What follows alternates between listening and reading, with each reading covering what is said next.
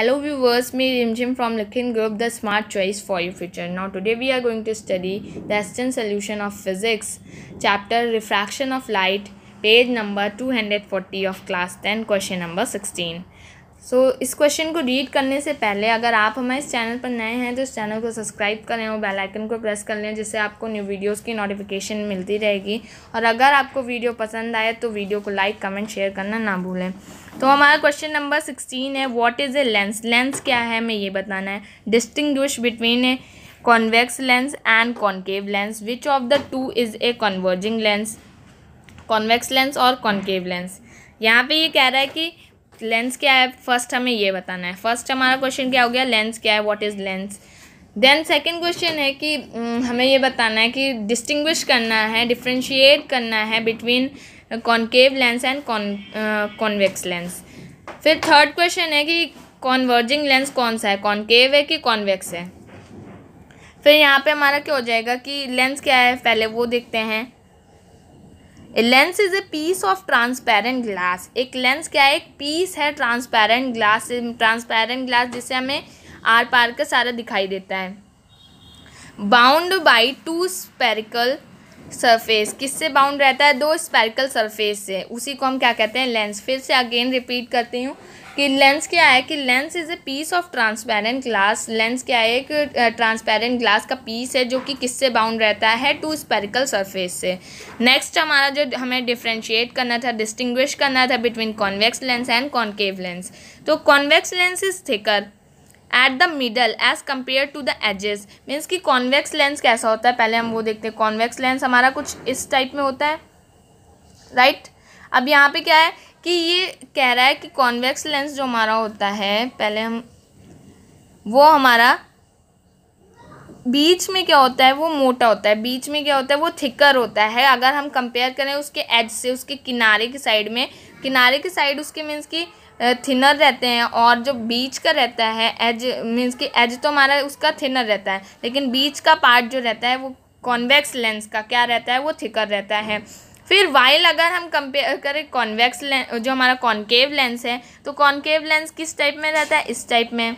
तो उसका बीच का पार्ट जो है थिनर रहता है और जो एजेस पार्ट हैं जो, अगर हम देखें उसे तो वो थिकर रहते हैं। तो वही यहाँ पे लिखा हुआ है।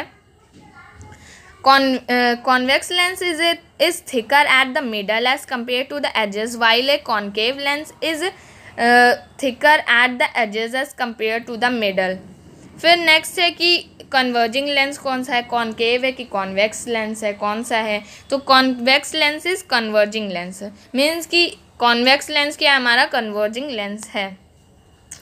So question number seventeen A explain with the help of a diagram diagram की हेल्प से एक्सप्लेन करना है why the convex lens is also called a converging lens क्यों कन्वेक्स लेंस को कन्वर्जिंग लेंस कहा जाता है? We have to explain this then B define principal axis principal focus and focal length of a convex lens principal axis define करना है principal focus define करना है and focal length of a convex lens we have to define this first A है a convex lens, also known as converging type. Convex lens को हम क्या कहते हैं? कन्वर्जेंट टाइप भी कहते हैं बिकॉज़ क्यों कहते हैं? It converge a parallel beam of light वो क्या करता है? Parallel beam of light rays passes through it क्या करता है? वो कि पैरल बीम ऑफ़ जो लाइट्स हैं, उसे, उस रेज को पास करता है अपने पास से। तो फिर यहाँ पे हमारा क्या हो जाएगा? जैसे कि ये डायग्राम हम पहले देख लेते हैं, उसे क्लियरली हमारा ये कन्वेक्स लेंस है, जिसे हम कन्वर्जिंग लेंस भी कहते हैं। पैरेलल रेज ऑफ़ लाइट ये हमारी जा रही हैं और यहाँ पे क्या हो रहा है कि एक पैरेलल बीम ऑफ़ लाइट आके कहाँ एक पॉइंट पे इकट्ठा हो रही हैं, ये हमें दिख रहा है ना?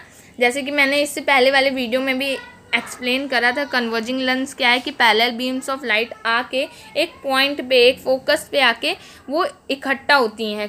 कोई भी डायरेक्शन से आए, कोई प्रॉब्लम नहीं है, बस एक पॉइंट पे आके वो इकट्ठा होती हैं, वही हमारा कन्वर्जिंग है। अब कैसे होती हैं? यही तो हमें बताना है कन्वर्जिंग तो हमें पता है, लेकिन कन्वेक्स लेंस को हमें, हम कन्वर्जिंग लेंस क्यों कहते हैं? ये हमें बताना है। तो यहाँ पे हमारा ये हो गया convex lens parallel rays of light आ रही हैं। पैरेलल रेज ऑफ़ लाइट ये हमारा प्रिंसिपल एक्सिस है। वी नो डैट जब कोई भी रेज ऑफ़ लाइट जो है पैरेलल होती हैं किसके प्रिंसिपल एक्सिस के तो वो कहाँ जाती हैं? फोकस पे जाती हैं। अगर हम इसे ध्यान से देखें तो हमारा ये जो मीन सेंटर ऑफ़ कर्वेचर से ये लाइन ऐसे स्ट्रेट पास होगी। ये एफ़ हो गया, ये दूसरा यहाँ पे एफ़ होगा। लाइक like डैट ऐसे ही रहता है ना? फिर उसके बाद तो जब मीन्स ये हमारा टू एफ़ मान लिया अब उसके बाद जब पैरेलल प्रिंसिपल एक्सेस से ये वाली पैरेलल जा रही है तो ये फोकस से जाएगी, ये पैरेलल जा रही है तो ये भी फोकस से जाएगी, ये और ये हमारी पैरेलल जा रही है, ये भी फोकस से जाएगी, ये पैरेलल है, ये भी फोकस से जाएगी, सारी लाइंस हमारी फोकस से जाएँगी, इसी वजह से तो हम कॉन्वेक्स लेंस को कन्वर्जिंग लेंस कहते हैं। अभी भी आपको नहीं समझ में आया तो फिर से हम देख लेते हैं कि हमारी मीन्स की जो लाइट्स हैं यहाँ पे पैल ये प्रिंसिपल एक्सिस है, ये हमारा क्या है प्रिंसिपल एक्सेस है ओके फिर यहाँ, इससे पैरेलल ऊपर वाली देखते हैं, ये वाली लाइन देखते हैं अगर हम तो ये पैरेलल जा रही है, ये हमारा रूल है, हमारा ये कन्वेक्स लेंस का रूल है कि कोई भी मीन्स कि प्रिंस कोई भी रे ऑफ़ लाइट जब भी हमारी प्रिंसिपल एक्सेस के पैरेलल जाएगी तो क्या होगा, वो फोकस से ही होके जाएगी, किसी और पॉइंट से होके, उसे जाना ही नहीं है, वो सिर्फ़ और सिर्फ़ किस पॉइंट से जाएगी फोकस से। फिर अब हमें मीन्स की कन्वर्जिंग दिखाना है ना, हमें प्रूव करना है एक तरीके से मैथ की तरह कि हमें इसे प्रूव करना है कि कन्वर्जिंग कैसे है, हमें पूरा बताना है। तो फिर एक और लाइन खींच दिया, जैसे कि ये। एक और लाइन ड्रॉ कर दिया सेम वो भी तो पैरेलल होगी प्रिंसिपल एक्सेस के तो वो भी हमारी कहाँ से जाएगी? फोकस से। फिर उसके नीचे खींच दिया, वहाँ से भी दिखाया, वो भी सेम पैरेलल होगी प्रिंसिपल एक्सेस के तो वो भी हमारी फोकस से जाएगी। ऐसे करके हमने बीम ऑफ़ लाइट दिखा दी कि वो जा रही है फोकस से, उसके अलावा वो कोई भी पॉइंट से नहीं जा रही है। तो कन्वर्जिंग भी तो यही कहता है कि बीम ऑफ़ लाइट आके जो है मीन्स कि एक पॉइंट से आती हैं, और मीन्स आई मीन कि बहुत सारी पॉइंट से या कोई भी कहीं से भी आती हैं और एक पॉइंट पे क्या हो जाती हैं? इकट्ठा हो जाती हैं, एक पॉइंट पे आके वो सब मिल जाती हैं। तो वो हमारा कन्वर्जिंग लेंस हो जाता है। वही सेम चीज़ हमने देखा कन्वेक्स लेंस में। तो इसी वजह से हम क्या कहते हैं? कन्वेक्स लेंस को कन्वर्जिंग लेंस कहते हैं। So I hope you understand the question A जो हमारा है। अब चलते हैं हमारे नेक्स्ट क्वेश्चन बी में। क्वेश्चन बी में हमें डिफाइन करना था प्रिंसिपल एक्सेस प्रिंसिपल फोकस और focal length of convex lens तो यहाँ पे हम वो देख लेते हैं। तो क्या कह रहा है कि हमें डिफाइन करना है प्रिंसिपल एक्सेस फ़र्स्ट हम देखते हैं प्रिंसिपल एक्सेस प्रिंसिपल एक्सिस, जैसे कि अभी हमने क्वेश्चन ए में प्रिंसिपल एक्सिस के कोई भी लाइन पैरेलल जा रही है तो पहले हमें ये भी तो पता होना चाहिए कि प्रिंसिपल एक्सिस होता क्या है, तभी तो हम जानेंगे कि प्रिंसिपल एक्सिस के कोई भी लाइट रे पैरेलल जा रही है तो वो फोकस से ही जाएगी। पहले हमें ये भी तो जानना ज़रूरी है कि प्रिंसिपल एक्सिस होता क्या है तो वही हम यहाँ पे देखेंगे। The principal axis of a lens is a line passing through through the optical centre of the lens and perpendicular to the both the faces of the lens अब यहाँ पे अगर हम let see in the diagram अगर हम diagram में देखें तो हमें और अच्छे से क्लियर समझ में आएगा, है ना? तो यहाँ पे क्या कह रहा है कि जो हमारी प्रिंसिपल एक्सिस से हमारी जो लाइन ये जो हमारी जो प्रिंसिपल एक्सिस है, ये क्या बीच में ऑप्टिकल सेंटर है तो वही ये कह रहा है principal axis is a of a lens is a line passing through the optical centre line कहाँ से पास हो रही है? Optical centres of the lens and perpendicular to the both faces of the lens और क्या है? Perpendicular है both faces of the lens के। ये हमारा मीन्स कि प्रिंसिपल एक्सेस हो गया कि वो जो है एक ऐसी लाइन है जो पास होगी ऑप्टिकल सेंटर से और परपेंडिकुलर रहेगी बोथ फेसेस अगर यहाँ पे परपेंडिकुलर बोथ फेसेस का क्या मतलब है? कि यहाँ से अगर हमने ड्रॉ कर दिया तो परपेंडिकुलर रहेगी दोनों फेसेस ऑफ़ द लेंस के। नेक्स्ट प्रिंसिपल फोकस जानते हैं क्या कह रहे हैं। क्या मतलब होता है इसका? The principal focus of a convex lens is a point on its principal axis to which light rays parallel to the principal axis converge after passing through the lens यहाँ पे ये कह रहा है कि जो हमारी प्रिंसिपल फोकस क्या होता है? कि एक जो कॉन्वेक्स लेंस है हमारा, उस पर एक पॉइंट है ऑन इट्स प्रिंसिपल एक्सिस जिससे हमारी लाइट रेस पैरेलल होकर जाती है। मीन्स कि यहाँ पे हमें प्रिंसिपल फोकस ये जो हमारा एफ़ है, उसे हमें बताना है, उसे हम डिफाइन कर रहे हैं। तो वहाँ पे क्या होता है? कन्वर्ज होता है after passing through the lens जैसे लेंस से पास होते हैं तो क्या हो जाती है? कन्वर्ज हो जाती है। तो जब कन्वर्ज हो जाती है तो जहाँ पे मिलती वही हो जाता है हमारा। जहाँ पे पॉइंट पे आती है वो सारी लाइन तो वो हमारी प्रिंसिपल फोकस हो जाता है। नेक्स्ट है focal length what is focal length the distance of the principal focus जो डिस्टेंस है प्रिंसिपल फोकस का, जो यह हमारा, यहाँ पे हम देख सकते हैं, ये जो हमारा डिस्टेंस है, और बिटवीन मीन्स कि इन दोनों के बीच का जो ऑप्टिकल सेंटर और प्रिंसिपल फोकस के जो बीच का डिस्टेंस है, उसको हम क्या कहते हैं? What we call focal length इन दोनों के जो लेंस के बीच का मीन्स हमारे डिस्टेंस है, उसको हम फोकल लेंथ कहते हैं। यहाँ पे आपको दिखाया भी गया है। फिर नेक्स्ट क्वेश्चन पे चलते हैं। Question number eighteen A explain with the help of a diagram why the concave lens is also called a diverging lens क्यों जो है कॉन्केव लेंस को डाइवर्जिंग लेंस भी कहते हैं? Define the principal focus of a concave lens principal focus of concave lens हमें ये define करना है।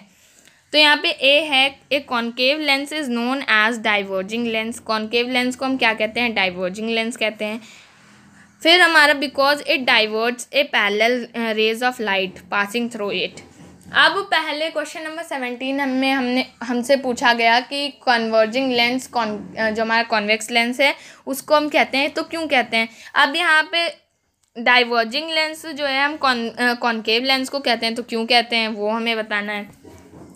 तो यहाँ पे क्या हो जाएगा? A concave lens is known as diverging lens because it diverts the parallel rays of light passing through it क्योंकि वो क्या करता है? डाइवर्स करता है पैरेलल रेज ऑफ़ लाइट जो उससे पास होती हैं पासिंग थ्रू इट तो यहाँ पे अब हम डायग्राम दे, देखते हैं तो हमें और अच्छे से क्लियर हो जाएगा।